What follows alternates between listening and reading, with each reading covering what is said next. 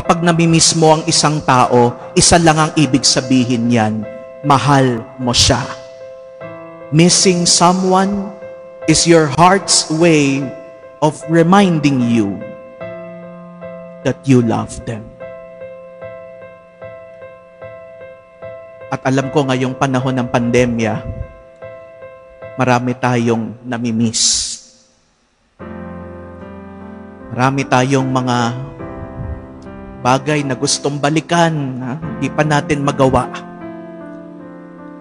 Maraming mga tao ang gusto nating makita, hindi natin magawa. Maraming mga tao din ang nakakalungkot na iniwan tayo at sumakabilang buhay ngayong panahon ng pandemya. Okay lang. Okay lang mangulila. Kasi ikaw ay nagmamahal.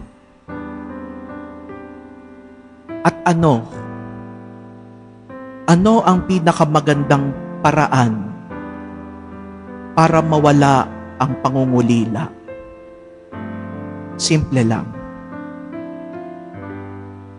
Ipikit mo ang iyong mata. Pagdaupin mo ang iyong palad. Lumuhod ka at manalangin.